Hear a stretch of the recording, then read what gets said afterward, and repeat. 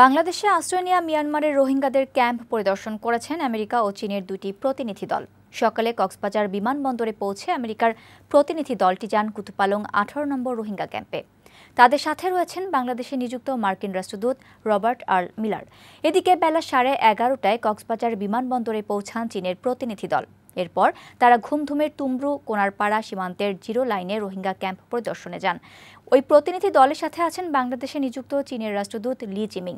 জানা যায়, প্রত্যাবাসন ও বিষয়ে রোহিঙ্গা ও প্রশাসনের শীর্ষ কর্মকর্তাদের সাথে বৈঠক করবেন লি জিমিং। বিকেলে জেলা প্রশাসন ও ইউএনএইচসিআর এর কর্মকর্তাদের সাথে বৈঠকের কথাও রয়েছে তাদের।